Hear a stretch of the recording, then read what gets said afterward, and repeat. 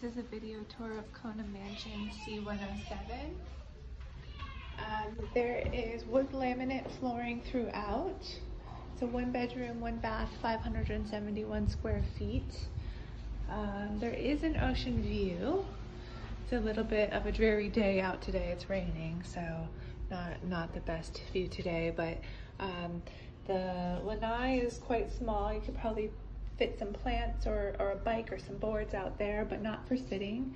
There's a small table with two chairs, um, two chairs with an ottoman here, and then a full kitchen with a fridge, dishwasher, oven, stove, microwave, garbage disposal. There are some um, glasses in the cupboards, some plateware, some cutlery,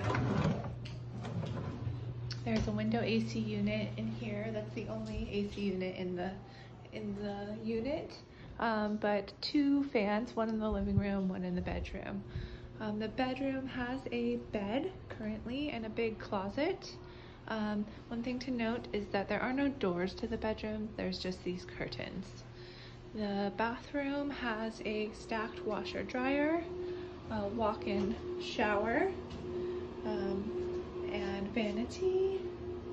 And then there's two doors into the bathroom, one through the living room, one through the bedroom.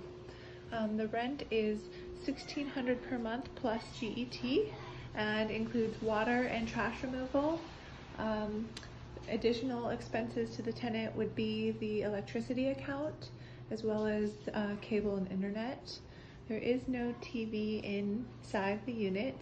Um, and then other things to note is there's a, a, pool on property with a barbecue area as well as um, mailboxes and, and there's one parking stall. Any additional parking is street parking across the street there.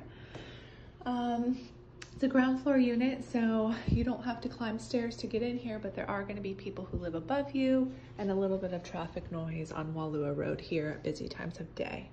Um, if you have any questions, please reach out. Thanks.